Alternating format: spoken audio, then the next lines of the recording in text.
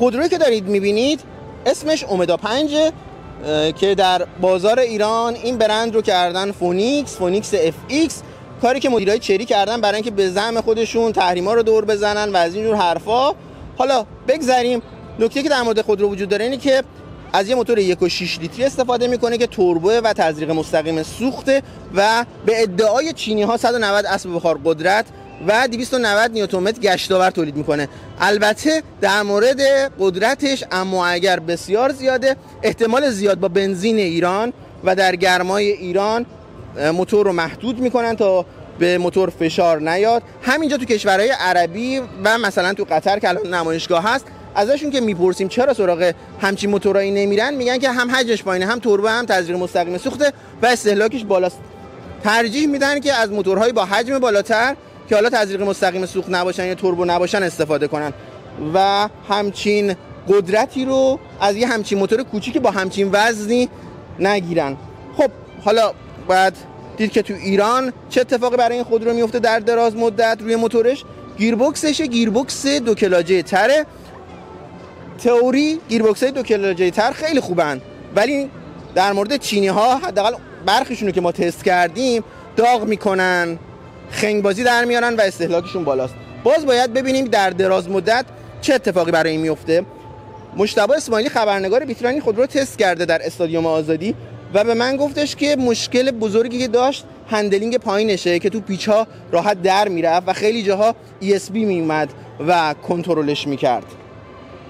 در مورد طراحی خودرو راستش من طراحیشو دوست ندارم. شاید خیلی دوست داشته باشن. به نظرم این سپر و این جلو پنجره اصلا قشنگ نیست. و هزینه بالایی هم داره. اگه تصادف کنه تو ایران کلش رو باید عوض کنید. ایراد مونتاژی رو من می‌بینم. همینجا نگاه کنید دست من تا کجا رفت تو؟ اینجا باز نگاه کنید دست من میره تو. شما دارین تو ایران بالای یک میلیارد و 700 به این خودرو پول میدین. نباید این ایرادا رو داشته باشه. رینگ لاستیک اصلا به خودرو نمیاد. و یک نکته واجعه اینه که چراغ ها از سپر زده بیرون. و به نظرم واقعا این فاجعه طراحیه نکته دیگه اینه که این بخش چراغ با این بخش چراغ تراز نیست. و کامل می‌بینید که مشکل مونتاژی داره. روی درها و بعضی از درسها هم می‌بینید که ما مشکل مونتاژی حداقل تو این نمونه نمایشگاهی داریم. خروجه اگزوز. ببینم از کجاست. فیکه. از این زیره. این یکی که فیکه. این یکی رو ببینم. این هم فیکه. یعنی دو تا خروجی اگزوز گذاشتن دو تا خروجی اگزوزش پایینه. اینا روی سپرا علکیه. و خب با همین چیز هاست که مشتری رو گول می‌زنن تا بیان و همچین خودروی بخرن. ببین چقدر درز زایه‌ای داره اینجا. ببین چه فاصله زیاده. و این اصلا مناسب نیست. من در عقب خودرو رو باز می‌کنم. برای قد من با اندازه 179 سانت صندلی جلوی تنظیم کردم. حالا میرم رو صندلی عقب میشینم. قد من بلند محسوب نمیشه تو ایران. ولی نگاه کنید چه اتفاقی برای سرنشین عقب میفته پدر زانوش در میاد. تازه الان من یه نفر یه نفر بغل من بشینه اینجوری اصلا اینجا که پام میاد وا یه فلزم داره پدر پا رو در میاره. این عقب خودروه. حالا بریم جلوی خودرو علی بیا عرض صندلی رو نگاه کن چقدر کمه. عرض صندلیمون خیلی کمه. من حالا بکردم چون من جستم اینجوریه مثلا سخت روی این صندلی میشینم. از علی که خیلی لاغر فیلم بردارمون بود قبلش خواستم بشینه. علی هم همین مشکل رو داشت. صندلی کامل شما رو در بر نمی‌گیره و واقعا اینجای صندلی شما رو اذیت می‌کنه و احتمالا تو دراز مدت اذیت کننده میشه. زانوتون می‌خوره به اینجا. ارگونومی خوبی نداره خود رو. جنسی که اینجا استفاده شده تو نمایشگاه جذابه ولی من دیدم که خاک می‌گیره چه افتضاحی میشه و تمیز کردنش هم سخت میشه. ارگونومیش بده صندلیش بده. پاتون هم همش توی عذابه. خب حالا برای همچین خودرویی توی چین چقدر پول میدن؟ بین 500 تا 700 میلیون تومن. توی ایران چقدر پول میدن؟ بالای یک میلیارد و 700 الان. و توی بازار قطر هم از ایران یه چند صد میلیونی خودرو ارزون تره چرا داره این اتفاق میفته؟ مدیرای چری حاضر نیستن به ما جواب بدن و تا الان هم جواب ندادن. خیلی حالا ممکنه بیان بگن بابا تارا و که از این خیلی بهتره. درسته تارا و شاهین و تقریبا همه ماشین های ایران خدا خب خیلی پایین تر از اینه یا خیلی از محصولات سایپا. ولی شما دارین چه قیمتی به اونها میدین چه قیمتی به این میدین؟ این یک میلیارد و 700 پولشه اونها چه قیمتی دارن؟ بعد این تو بازار جهانی چقدر قیمتش چقدر دارن به ما میدن؟ واقعیتش اینه که اگر ما می‌خوایم خودروی چینی بخریم باید خوباشو بخریم. نه این خودرو که در بازار چین هم فروشش با مشکل مواجه بوده و اینجا توی قطر مثلا کارگرای هندی بنگلادشی میان میخرنش. واقعا متاسفم و امیدوارم که از چاله در نیایم و بیفتیم تو چاه خودروسازهای درجه دو چینی.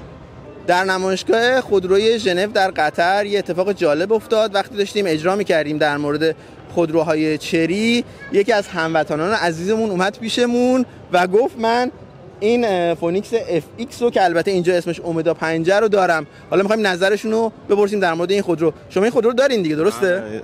فکر کنم برج دو تا الان اردیبهشت در اومد ثبت نامی خریدم بعد اینکه دا کیفیت material ش کامل فرق می‌کنه. آ یعنی ایرانیه بدتر یا بهتره؟ نه خیلی این خیلی بهتره. یعنی تازه اینی که اینجا آوردن ما کلی هم ایراد گرفتیم از اون ایرانیه بهتره. بهتره. بعد اولین شستشو هم درون دندقه به ماشین سوخته الان گفتن 10 روز 20 روز دیگه موجودم نداریم. گفتن 10 تا ماشین دیگه هم درون دندقه بهشون خراب شده. الان 360 گفتن تار نشون میده.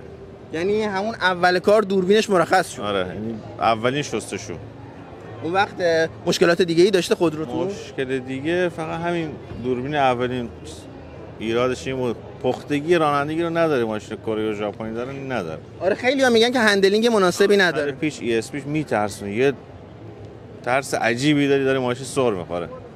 یعنی من امتحانش کردم با سرعت بالا میری تو پیچ یه تقه‌ای می‌زنه. عجیب و غریب. واقعا؟ آره.